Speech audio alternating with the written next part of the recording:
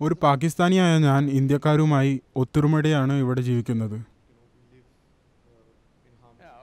ആ പ്രദേശത്തിന് പുറത്തുള്ളവർ വളരെ നന്നായി ജീവിക്കും. തീർച്ചയായും. അതിരുകൾ ഞങ്ങളെ വിഭാഗിച്ചെങ്കിലും ഒരുപാട് കാര്യങ്ങൾ ഞങ്ങൾ പങ്കിടുന്നു. ഞങ്ങൾ ദാരിദ്ര്യം പങ്കിടാറുണ്ട് ഞങ്ങൾ പട്ടിണി പങ്കിടാറുണ്ട്. നിങ്ങൾ ഏത് ദുരിതമെടുത്താലും രണ്ട് രാജ്യങ്ങളും ഇതിലൂടെ കടന്നു പോകുന്നുമുണ്ട് വിഷം നുറങ്ങുന്നവർ ഞങ്ങളുടെ ഇടയിലുണ്ട്. കുട്ടികൾ കുട്ടികൾ സ്കൂളിലേക്ക് പോകുന്നില്ല. ഇതിനെപ്പറ്റി നിങ്ങൾ എന്ത് ചിന്തിക്കുന്നു? യുവജനങ്ങൾ വലിയൊരു ഇന്ത്യൻ ജനത യുവാക്കളാണ്. അതുപോലെ തന്നെ പാകിസ്ഥാനിലും. ഞങ്ങൾ ഒരുമിച്ച് നിന്നാൽ ഈ ദുരിതങ്ങളെ ഇല്ലാതാക്കി എല്ലാവരും ഒത്തൊരുമയോടെ ഒരു നല്ല ഭാവിക്കായി പ്രവർത്തിക്കാൻ കഴിയുമെന്ന് നിങ്ങൾ എന്തുകൊണ്ട് ചിന്തിക്കുന്നു? ശരി. ഇതൊരു തീർച്ചയില്ലാത്ത ചോദ്യമാണ്. നിങ്ങളിത് മനസ്സിലാക്കണം.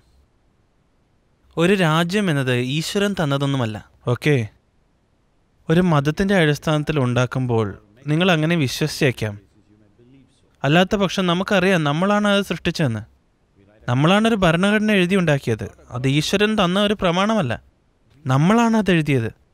ജനങ്ങളുടെ ക്ഷേമത്തിനു വേണ്ടി അതിന് ഭേദഗതിയും പരിഷ്കരണവും ബാധകമാണ്. ഇന്ന് ലോകത്തിലൊരു രാഷ്ട്രം എന്നത് ഇതുവരെ നമ്മൾ ആരും തന്നെ ഒരിടത്തെത്തി പരസ്പരം സ്വീകരിച്ച് ഒറ്റ രാജ്യമായി ഈ ഭൂമിയിൽ ജീവിക്കാൻ പാകത നേടിയിട്ടില്ല. എന്നെങ്കിലും ആ അവസ്ഥയിൽ എത്തുമെന്ന് ഞാൻ പ്രതീക്ഷിക്കുന്നു. പക്ഷേ നോക്കൂ നിങ്ങൾ ഇപ്പോൾ തന്നെ ബ്രെക്സിറ്റ് ചെയ്യുകയാണ്. നോക്കൂ യൂറോപ്പ് കഴിഞ്ഞ ഇരുപത് ഇരുപത്തഞ്ച് വർഷമായി നേടിയത് യഥാർത്ഥത്തിൽ അസാമാന്യമായ അത്ഭുതകരമായ വിജയമാണ്. ഒന്നും രണ്ടും ലോകമഹായുദ്ധങ്ങൾക്ക് ശേഷം ആരും വിചാരിച്ചില്ല ജർമ്മനിയും ഫ്രാൻസും ഇറ്റലിയും ഇംഗ്ലണ്ടും ഒരുമിക്കുമെന്ന്. ആരും തന്നെ സങ്കല്പിച്ചു പോലുമില്ല. ഇത് നിങ്ങൾക്ക് ആയിരത്തി തൊള്ളായിരത്തി നാൽപ്പത്തി അഞ്ചിൽ സങ്കല്പിക്കാൻ കഴിയുമായിരുന്നു? ഇല്ല. പക്ഷേ നിങ്ങൾ നേടിയെടുത്തു. ഈ യൂറോപ്യൻ യൂണിയൻ എന്നത്. ഇതൊരു ചെറിയ കാര്യമല്ല. ഇതിനെ ഒരു സാമ്പത്തിക പദ്ധതിയായി കാണരുത്. മനുഷ്യാവബോധത്തിന്റെ ഒരു മഹാവികാസമാണിത്.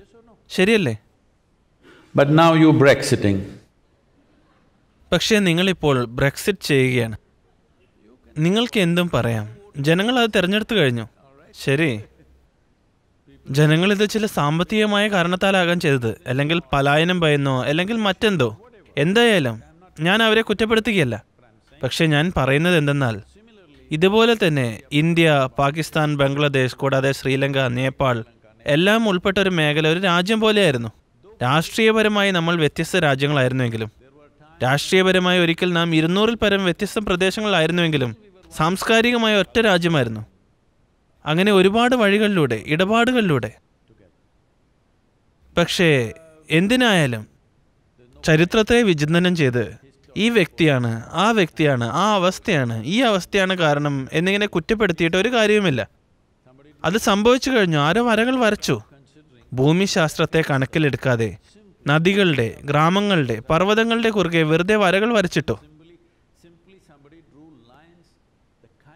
സംരക്ഷിക്കാൻ കഴിയാത്ത വരകൾ. രണ്ട് രാജ്യങ്ങളുടെയും സംരക്ഷണത്തിന് ഈ നിരന്തരമായ പോരാട്ടങ്ങൾ ആവശ്യമായ വരകൾ. എല്ലാത്തിലും ഉപരിയായി. നോക്കൂ ഒരു കാര്യം തീർച്ചയായും കൊണ്ടുവരണം. നിങ്ങൾ നിങ്ങൾ യുവജനങ്ങൾ നിങ്ങളെല്ലാവരും ഈ ലോകത്തിന്റെ ഭാവിയെക്കുറിച്ച് ഉത്സുകരാണെങ്കിൽ ജീവിക്കുവാനായി നാം ഇന്നും മതം സ്വർഗം തുടങ്ങിയ കാര്യങ്ങൾ ഉപേക്ഷിച്ച് മാനുഷിക ബോധത്തോടെ ഒത്തൊരുമിച്ചൊരു സ്ഥലത്തെത്തിയിട്ടില്ല. പക്ഷേ നിങ്ങളുടെ കാലഘട്ടത്തിൽ നമുക്കതിനാകണം. വരുന്ന തലമുറ എന്തായാലും ഇത്രയെങ്കിലും ചെയ്യണം. മതം ജനങ്ങൾക്ക് അവരുടെ സ്വകാര്യമായ കാര്യമാകണം. ആഗ്രഹമുണ്ടെങ്കിൽ വ്യക്തിപരമായി അനുഷ്ഠിക്കുക. പക്ഷേ എന്റെ മതം ലോകത്തെ കീഴടക്കണമെന്ന തീവ്രമായ ലക്ഷ്യമില്ലാതാകണം. അടുത്ത ഇരുപത്തഞ്ച് വർഷത്തിനുള്ളിൽ നിങ്ങൾ കൈവരിക്കേണ്ട നേട്ടങ്ങളിൽ ഒന്നാണിത്. അല്ലെങ്കിൽ നമുക്കുള്ള സാങ്കേതിക പുരോഗതിക്കനുസരിച്ച് ഭൂമിയിലെ മഹാനാശം നമ്മളിലൂടെയാകും. അല്ലേ? വാൾപ്പയറ്റുകളുടെ കാലം കഴിഞ്ഞു. വാൾപ്പയറ്റുകളുടെ കാലം കഴിഞ്ഞു. നമ്മൾ അതേ മനസ്ഥിതിയോടെ മുന്നോട്ട് പോയാൽ നമ്മൾ ഒരാൾക്കും നന്മ നൽകാത്ത ബൃഹത്തായ നാശം വിതയ്ക്കും. ഓക്കെ? ഈ ഗ്രഹത്തിലെ ഗുണത്തിനല്ല അത്. ഇതിലെ ജീവജാലങ്ങളുടെ ഗുണത്തിനല്ല. ഇതിനാൽ എല്ലാവരും വേദനിക്കുകയും ചെയ്യും. ഞാൻ പറയുന്നത് നിങ്ങൾ നല്ല സ്ഥാപനങ്ങളിൽ പഠിക്കുന്നു. നിങ്ങൾ തിരികെ പോകുമ്പോൾ ചെയ്യേണ്ടത് എവിടെ പോയാലും ഏത് മതവിശ്വാസത്തിന്റെ അടിത്തറയുണ്ടെങ്കിലും നിങ്ങളുടെ മതം നിങ്ങളുടെ മാത്രം അനുഷ്ഠാനമാണെന്ന് മറ്റുള്ളവർക്ക് വ്യക്തമാക്കി കൊടുക്കണം. ഇഷ്ടമുള്ളതെല്ലാം നിങ്ങൾക്ക് ചെയ്യാം. ഓക്കെ നിങ്ങൾക്ക് മുകളിലേക്കോ താഴേക്കോ ചുറ്റുവട്ടത്തിലേക്കോ എവിടെ വേണമെങ്കിലും നോക്കാം. അത് നിങ്ങളുടെ ഇഷ്ടമാണ്. എന്നോട് എവിടേക്ക് നോക്കണം എന്ന് പറയരുത്. അതെ എന്നോട് എവിടേക്ക് നോക്കണം എന്ന് പറയരുത്. ഒരാളോടും ഇതാണ് ശരി അതാണ് ശരി എന്ന് നിർബന്ധിക്കരുത്. ഈ ഒരു കാര്യത്തിൽ മാറ്റം വന്നാൽ ഇന്ത്യയും പാകിസ്ഥാനും ശാന്തമാകും. കാരണം സാംസ്കാരികപരമായ ഒരുപാട് ബന്ധങ്ങളുണ്ട്. ഞാൻ ഈ അടുത്ത് ദുബായിൽ നടന്ന സൗത്ത് ഏഷ്യൻ കോൺഫറൻസിൽ പങ്കെടുത്തിരുന്നു. ആ സമയത്താണ് ഇന്ത്യയിൽ ഭീകരാക്രമണം നടന്നത്. എല്ലാ പാക് പൗരന്മാരും ആ കോൺഫറൻസിൽ നിന്നും പുറത്തു പോകണമെന്ന് ഞങ്ങൾക്ക് നിർബന്ധിക്കേണ്ടി വന്നു. നിർഭാഗ്യവശാൽ അത് സംഭവിച്ചു. ഞാൻ വളരെ പ്രതീക്ഷയോടെയാണ് ഈ പരിപാടിയെ നോക്കിയത്. പക്ഷേ ഇത് സംഭവിച്ചതുകൊണ്ട് അവർക്കത് ഉപേക്ഷിക്കേണ്ടി വന്നു. ഇതിൽ നിന്നും മനസ്സിലാക്കേണ്ടത് നമ്മളെല്ലാവരും ഇതിനായി തന്നെ പ്രയത്നിക്കുകയാണ്. തെക്കൻ ഏഷ്യൻ പ്രദേശങ്ങൾ അതായത് ഇന്ത്യ പാകിസ്ഥാൻ നേപ്പാൾ ശ്രീലങ്ക അഫ്ഗാനിസ്ഥാൻ ഭൂട്ടാൻ മ്യാൻമർ ഇങ്ങനെ ഭൂമിശാസ്ത്രപരമായി ഒന്നായി കിടക്കുന്നവർ. യൂറോപ്യൻ യൂണിയൻ പോലെ ഒന്നിനെയാണ് ഉറ്റുനോക്കുന്നത്. രാഷ്ട്രീയപരമായി നിങ്ങൾക്ക് വ്യത്യസ്തരാകാം. നിങ്ങൾക്ക് ഏത് മതവിശ്വാസമോ വേണമെങ്കിലും ആകാം. പക്ഷെ സാമ്പത്തികമായി നാം ഒരുമിച്ചാൽ ഒരിക്കൽ നമ്മൾ ലോകത്തിന്റെ തന്നെ സമൃദ്ധമായ ഒരു ഭാഗമായിരുന്നു. അതിന് കാരണം നാം പല രീതിയിലും ഒരുമിച്ച് പ്രവർത്തിച്ചു എന്നതാണ്. ഇന്ന് അതിനൊരു സാധ്യതയുമില്ല. എല്ലാവരും സ്വന്തം അതിരുകളിൽപ്പെട്ട് കിടക്കുകയാണ്. ഇതിനാണ് നാം പ്രേരിപ്പിക്കേണ്ടത്. ഇതാണ് ദൃഢനിശ്ചയമെങ്കിൽ പ്രധാനമായി നടക്കേണ്ട കാര്യം മതം വെറും വ്യക്തിപരമായ അനുഷ്ഠാനമായി മാറണം. അതൊരു രാജ്യത്തിന്റെ ലക്ഷ്യമോ ഒരു ലോകവ്യാപകമായ ലക്ഷ്യമോ ആകരുത്. ഇന്നത് ഒരു ലോകവ്യാപകമായ ലക്ഷ്യമാണ്. അത് വ്യക്തിപരമായ അനുഷ്ഠാനം മാത്രമാകണം. നിങ്ങളിത് ചെയ്താൽ ഇന്ത്യ പാകിസ്ഥാൻ മാത്രമല്ല മറ്റനേകം പ്രദേശങ്ങളും ഒത്തുചേരുന്നത് യാഥാർത്ഥ്യമാകും.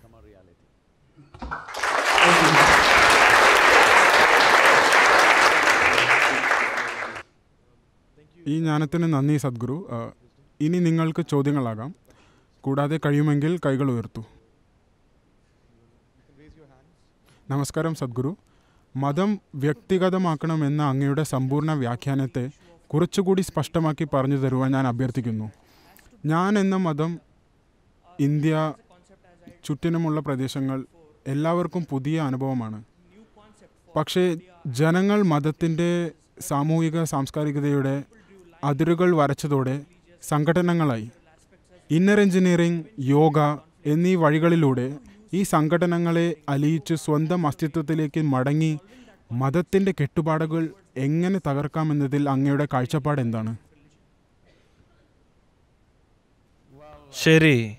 നിങ്ങൾക്ക് വേണ്ടത് പ്രവചനമാണോ പ്ലാനാണോ? ആർക്കൊക്കെ? ആർക്കൊക്കെ മാർഗനിർദ്ദേശം തരാനോ നിറവേറ്റാനോ കഴിയുന്നില്ലയോ?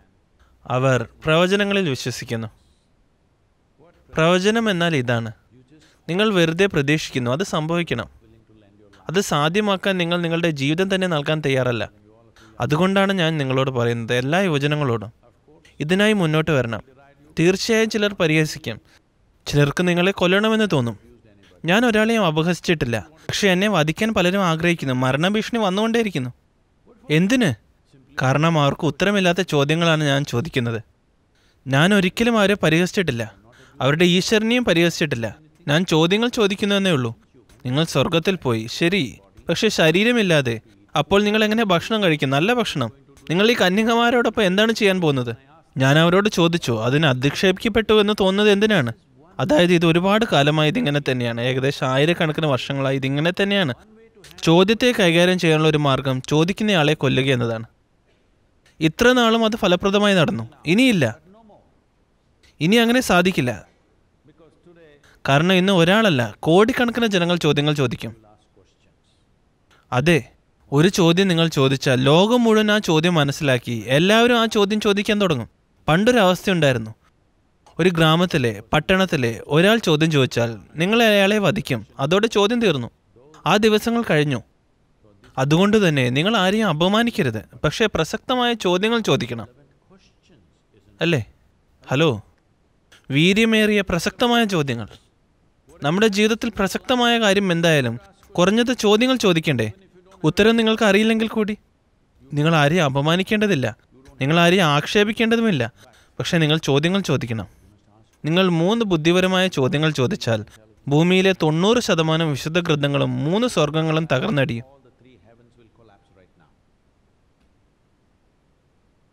അവസാന ചോദ്യം. മതം എന്നത് രാഷ്ട്രത്തിന്റെ ലക്ഷ്യമല്ലെന്നും അത് വ്യക്തിപരമാണെന്നും ശരിയായ രീതിയിലേ നാം സംസാരിക്കാവൂ എന്നും എന്നെല്ലാം നിങ്ങൾ പറഞ്ഞത് എന്നിൽ വളരെ മതിപ്പുളവാക്കി. ഒരുപാട് പേർക്ക് പ്രതീക്ഷ നൽകുന്ന ഒരാൾ എന്ന നിലയ്ക്ക് മതാധിക്യം പരത്തുന്ന രാഷ്ട്രീയ പാർട്ടികൾക്കെതിരെ നിങ്ങളുടെ ആശങ്ക പങ്കുവെക്കേണ്ട ഒരു സാമൂഹിക പ്രതിബദ്ധത നിങ്ങൾക്കില്ലേ? അതോ നമുക്ക് എല്ലാവരെയും ഒരേപോലെ സ്വാധീനിക്കാൻ കഴിയില്ല എന്നതാണോ കാരണം? നിങ്ങൾ ഇതേപ്പറ്റി എന്തു ചിന്തിക്കുന്നു?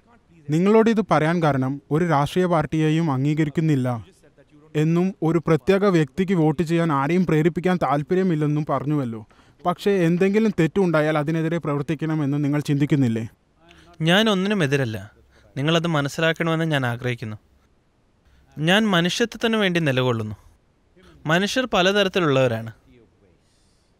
എനിക്കതിലൊരു കുഴപ്പമില്ല. കാരണം എല്ലാവരും എന്നെ പോലെ ആയാൽ പിന്നെ എനിക്ക് ലോകത്തിൽ ജീവിക്കണമെന്നില്ല. അവരെല്ലാം വ്യത്യസ്തരാണ്. അതുകൊണ്ടെല്ലാം നന്നായി. അവരെ നോക്കൂ അവരെത്ര വ്യത്യസ്തരാണ് ഓരോരുത്തരും. അതുകൊണ്ടാണ് എല്ലാം നന്നായത്. എന്നാൽ ഈ വിഡ്ഢികളെല്ലാം എല്ലാവരെയും അവരെ പോലെയാക്കാൻ ശ്രമിക്കുകയാണ്. ഒന്ന് ആലോചിക്കൂ നിങ്ങളുടെ വീട്ടിൽ നിങ്ങളെപ്പോലെ മറ്റൊരാളുണ്ടെങ്കിൽ നിങ്ങൾ അവിടെ ജീവിക്കുമോ? ഒരാൾ തന്നെ അധികമാണ് അല്ലേ? പക്ഷേ അവർക്ക് ഈ ലോകം മുഴുവൻ അവരെ പോലെ ആകണം. അപ്പോൾ ഞാൻ ആർക്കും എതിരല്ല. അത് പ്രശ്നമല്ല. എല്ലാവരും അവർ ആഗ്രഹിക്കുന്ന കാര്യങ്ങൾ പറയുന്നു. അവർക്ക് വലിയ അധികാരങ്ങൾ കിട്ടാത്തിടത്തോളം കാലം അത് കുഴപ്പമല്ല. അവർ അവരുടെ അഭിപ്രായം പറയുന്നു. അഭിപ്രായം എന്നത് തിമിരം പോലെയാണ്. കൂടുന്തോറും കാഴ്ച കുറയും. അതുകൊണ്ട് ഞാൻ അവർക്ക് കൂടി വ്യക്തത നൽകാനാണ് ശ്രമിക്കുന്നത്. ആൾക്കാർ പറയും സദ്ഗുരു നിങ്ങൾ ഈ സെലിബ്രിറ്റിയുടെ കൂടെ കണ്ടുവല്ലോ. നിങ്ങൾ എന്തിന് അയാളുടെ കൂടെ ഇരുന്നു? നിങ്ങൾ ഈ രാഷ്ട്രീയക്കാരന്റെ കൂടെ കണ്ടുവല്ലോ. ഞാൻ പറയും കഴിഞ്ഞ ഇരുപത്തിരണ്ട് വർഷങ്ങളായി ഞാൻ ഇന്ത്യയിലും അമേരിക്കയിലെയും ജയിലുകളിൽ പ്രവർത്തിക്കുന്നു. നിരന്തരം കൊലപാതകികളുമായും ബലാത്സംഗികളുമായും എല്ലാതരം ആളുകളുമായി ഇടപെടുന്നു. അവർക്കും എന്നോട് പ്രശ്നമില്ല. കാരണം മനുഷ്യർ ഇങ്ങനെയുള്ള എല്ലാ കാര്യങ്ങളും ചെയ്യുന്നു. ചോദ്യം ഇത് മാത്രമാണ്. നാം ഒരു തലമുറ എന്ന നിലയിൽ മനുഷ്യർക്ക് ഒരു ഉയർന്ന സാധ്യതയിലേക്ക് ഉയരാനുള്ളൊരു സാഹചര്യം സൃഷ്ടിക്കുമോ? അതോ അവരെ വെടിവെച്ചു ഇവരെ തൂക്കിലേറ്റി അതും ഇതും ചെയ്യുക. ഇതാണ് നിങ്ങളുടെ പരിഹാരം. എന്നെ വിശ്വസിക്കൂ. ബലപ്രയോഗത്തിലൂടെ പരിഹാരങ്ങൾ കണ്ടെത്താൻ സാധിക്കുമെന്ന് വിശ്വസിക്കുന്നവരാണ് ഭൂമിയിലെ ഏറ്റവും മോശപ്പെട്ട അവസ്ഥകൾ സൃഷ്ടിച്ചിട്ടുള്ളത്. അല്ലേ? ബലപ്രയോഗത്തിലൂടെ അവർ പരിഹാരങ്ങൾ കണ്ടെത്തുകയാണ് എന്ന് വിശ്വസിക്കുന്നവർ. അവരാണ് ഏറ്റവും മോശം കാര്യങ്ങൾ ചെയ്തത്. ശരിയല്ലേ? നിങ്ങളെ സ്വർഗത്തിലേക്ക് അയക്കുകയാണെന്ന് വിശ്വസിച്ചവർ. അവർ ഏറ്റവും മോശം കാര്യങ്ങൾ ചെയ്തു. ബലപ്രയോഗത്തിലൂടെ എല്ലാവരെയും ഒരുപോലെയാക്കി തുല്യത കൊണ്ടുവരാമെന്ന് വിശ്വസിച്ചവർ. അവരാണ് ഭൂമിയിലെ ഏറ്റവും ഭീകരമായ കാര്യങ്ങൾ ചെയ്തത്. നമുക്ക് ആ തെറ്റുകൾ ആവർത്തിക്കാൻ ആഗ്രഹമില്ല. നിങ്ങളിത് മനസ്സിലാക്കണം. പുതിയ ആയുധ സന്നാഹങ്ങൾ സാങ്കേതിക വളർച്ച എല്ലാം ഉള്ളപ്പോൾ അത്തരം തെറ്റുകൾ സഹിക്കാൻ സാധിക്കില്ല. ഇവിടെ ഇനി അത്തരം തെറ്റുകൾ സാധ്യമല്ല. നമ്മൾ ഇത്തരം തെറ്റുകൾ ആവർത്തിച്ചാൽ അതായത് ഞാൻ ഈ പേരുകൾ സൂചിപ്പിക്കാൻ പാടില്ലാത്തതാണ്. Mussolini Adolf Hitler Joseph Stalin കൂടാതെ ഏതൊക്കെയോ മതഭ്രാന്തന്മാർ. അവരുടെ ചെയ്തികൾ ഈ ഇരുപത്തൊന്നാം നൂറ്റാണ്ടിലും നമ്മളത് തുടർന്നാൽ മനുഷ്യവംശം തന്നെ ഇല്ലാതാകും. ഇനി അത് അംഗീകരിക്കാൻ സാധ്യമല്ല. നമുക്കിനി പുരോഗതിയിലേക്കുള്ള ഏക വഴി ഇതാണ്. ഞാൻ നിങ്ങളെക്കുറിച്ച് എന്തു തന്നെ ചിന്തിച്ചാലും നിങ്ങളെ നിങ്ങളായി തന്നെ അംഗീകരിക്കുക. ഒരുമിച്ച് കുറച്ച് കാര്യങ്ങൾ ചെയ്യാനെങ്കിലും നമുക്ക് ഒരുമിച്ച് നിന്നുകൂടെ? നമുക്കെല്ലാവർക്കും ആരോഗ്യം വേണം.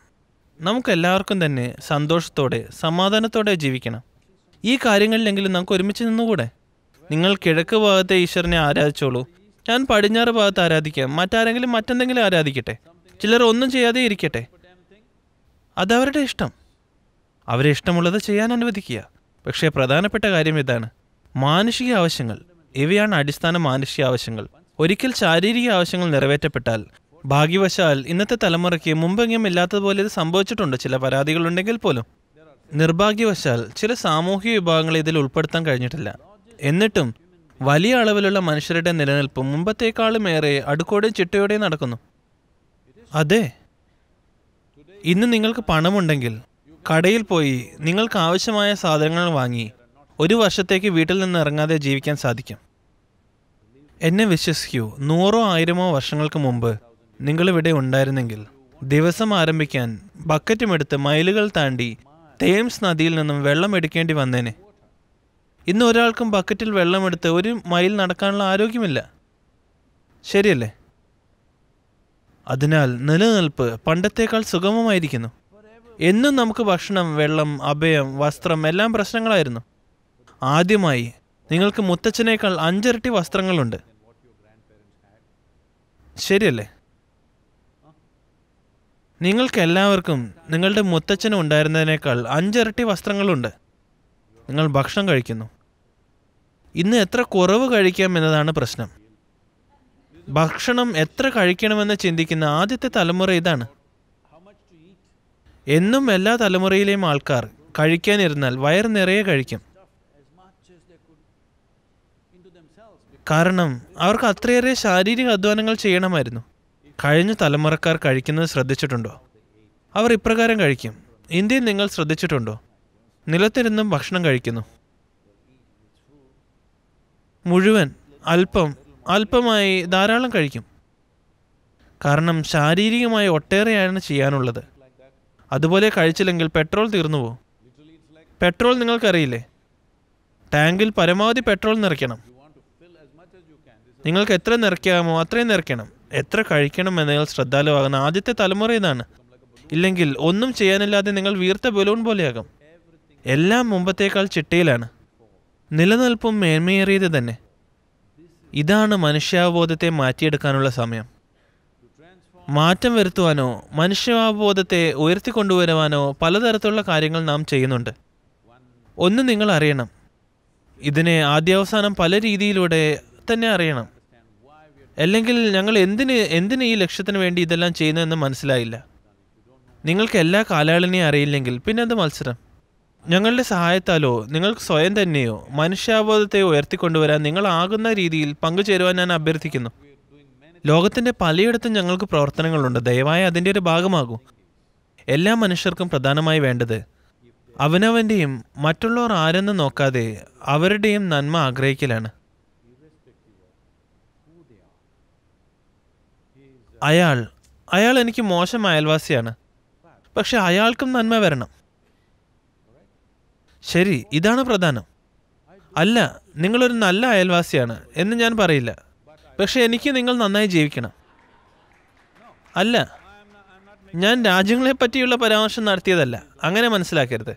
അയാൾ പാകിസ്ഥാനിൽ നിന്നോ കേരളത്തിൽ നിന്നോ ആയാലും അതിന് ഒരേ അർത്ഥം തന്നെ വരും. ഞാൻ പറയുന്നത് നിങ്ങളെപ്പറ്റി മഹത്തായ കാര്യങ്ങളൊന്നും എനിക്ക് പറയാനില്ല. അതെ നിങ്ങൾ മോശം അയൽവാസിയാണ്. പക്ഷെ നിങ്ങൾ നന്നാവണം. കാരണം നിങ്ങൾ നന്നായാൽ എന്നോടും നല്ല രീതിയിൽ പെരുമാറും. നിങ്ങൾ സുഖത്തിലല്ലെങ്കിൽ അതേ കാരണത്താൽ എന്നിലും ബാധ ഏൽപ്പിക്കും അത് പ്രധാനമാണ്. നിങ്ങൾ നന്നായി ജീവിക്കണമെങ്കിൽ നിങ്ങളുടെ ചുറ്റിലും എല്ലാവരും നന്നായി ജീവിക്കണമല്ലേ? ഇതാണ് ഞാൻ പറയുന്നത്. പൂർണമായും സ്വാർത്ഥരാകും. എന്തുകൊണ്ട് സ്വാർത്ഥതയ്ക്കും ലാഭത്തിനും പിശുക്ക് കാണിക്കുന്നു?